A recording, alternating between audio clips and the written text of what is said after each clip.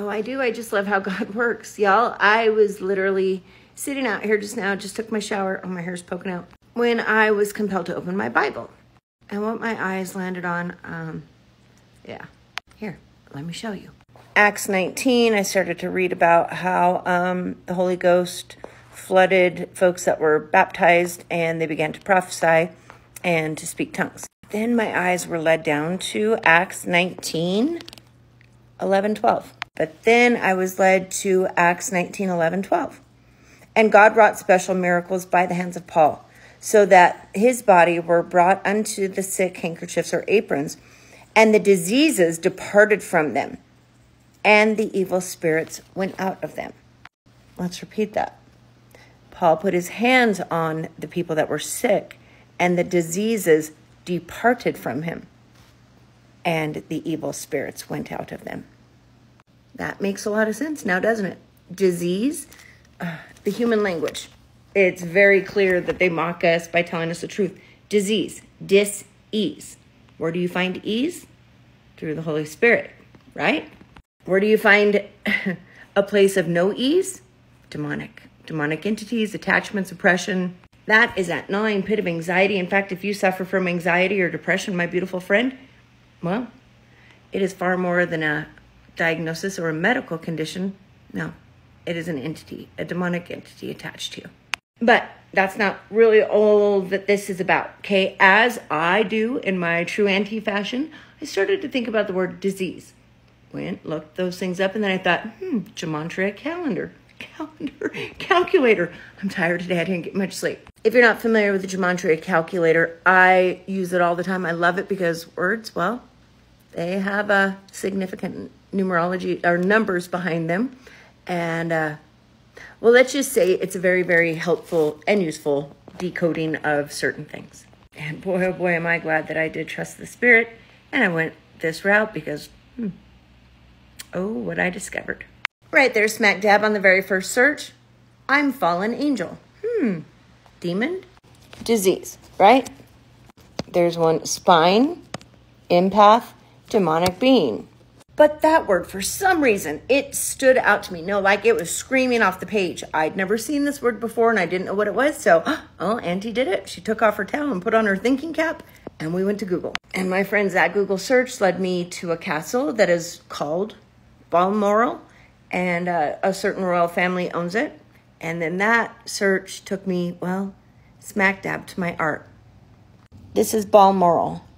It is in Edinburgh, Scotland and is owned and has been since the beginning of it, since it was built by the royal family.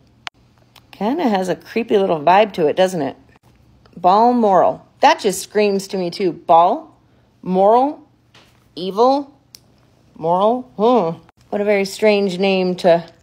Well, I guess not if you're the royals. Yep. There it is, my friends. Balmoral, right? But Auntie, how could a Bible verse about disease land you over onto a gematria that would land you over to demonic entities and then Balmoral? Oh, something just flew. Well, I must be onto something because something just flew like two feet over off of the wall in my garage. Hmm. I digress and I rebuke. Well, I did a lot better than that when I wasn't recording. Oh, where was I? Clearly irritating the the devil. But um, so landed me on Balmoral, a castle in Scotland that I had no idea that the royal family owned. And I, well, being me, wanting to know what does Balmoral mean, that definition jogged my memory. I thought I've seen that somewhere. That thing that it's describing, I swear I've drawn that, but where? I digress. Balmoral, a laced boot or shoe, huh? Y'all that jogged my memory like i said i was like wait wait wait. I've seen that on my art. I don't think i finished it but i remember seeing it. And you'll never well you might guess just exactly where and which door and well not too far from who that said boot with laces. Well it might be. Let's go see. Oh that's right. My friends on judgment day smack dab square landing in well there it is hell. Not too far from the oh the king with this scepter right there. The uh, reptilian of sorts. I don't know, like a king who might be related and famously and excitedly and happily to Vlad the Impaler. Dracula's uh, inspiration. In fact, the king, he uh, claims to have quite a stake in Romania himself, living there a couple of times a year, living in his own little oh, castle like getaway in Romania. You got the Antichrist, whose face is not to be revealed yet. The old false prophet, hand in the uh, forehead, putting the old mark of the beast. But where, oh, where did I see that boot? Oh, that's right, right there. Can you see it? It's faintly there because I hadn't finished it. I'd kind of forgotten about it. Right there. The boot comes out to here and it goes back. And you can see the laces. Huh, not too uh, far from that fella now, is it? Balmore. Well, maybe now that boot down in hell makes a little bit more sense. Isn't that interesting? Isn't that interesting what one Bible verse and a Google search and a gematria calendar calculator later where that can land me? Remembering a piece of my art I have yet to finish. I guess I better lace up my boots and get that done.